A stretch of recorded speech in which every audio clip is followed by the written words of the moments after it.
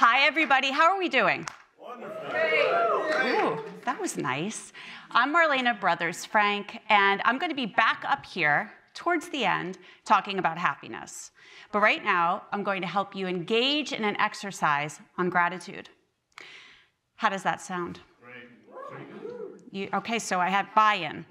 Okay, so the second part is I was never really a rule breaker growing up, but I'm going to ask you do you want to break some TEDx rules with me? Yes. Okay, a little bit louder. Okay, you just broke the first, no yelling. Okay? The second rule we're going to break is I'm actually going to have you pull your cell phones out, not yet. I know you're so excited about that. You're going to pull out your cell phones, and I'm going to have you engage in an, a, a gratitude practice of sorts. We're also going to turn on the lights a little bit. But before we do that, I want to talk about gratitude because a lot of us use this word and we use it often, but what does it really mean? It's a state of being thankful. And gratitude is one of the most powerful human emotions, and you have the ability to evoke it at any time for yourself and for someone else. When you thank a loved one or anyone you care about, when you give them a heartfelt thank you, or they give you a heartfelt thank you and you're on the receiving end, you're immediately happier. You're immediately filled with joy. And it changes your entire perspective of the world around you. You're more appreciative and more encouraged of what you're experiencing. So, with that in mind, I want you to think about someone in your life that you are in communication with that you would like to thank. This does not have to be a heavy, heavy thank you. We don't need to go there. I can come back another day and we can do a whole vulnerability thing. But for today, this can be very simple. It can be a thank you to your mom for a home cooked meal last night. It can be a thank you to your neighbor for pulling out the garbage can. It can be a thank you to your teenage daughter for getting up on time. Whatever one works for you. Are we ready?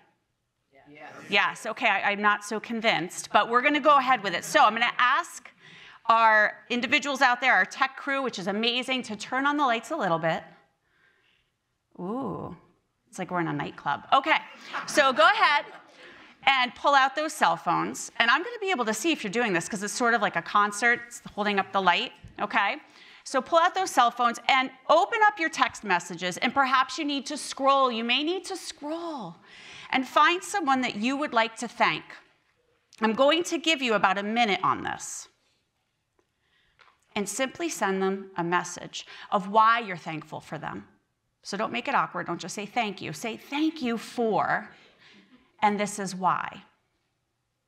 And there's a beautiful thing that will probably come from this practice.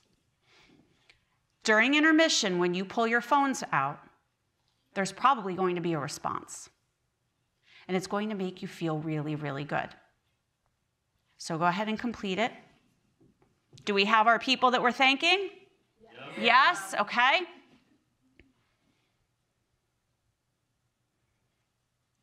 When you're done, I'm going to ask you to make sure that that phone is still silenced and turned off, and go ahead and put it away.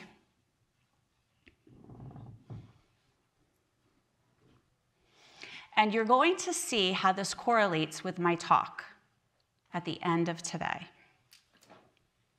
Okay, thank you, everyone. See you soon.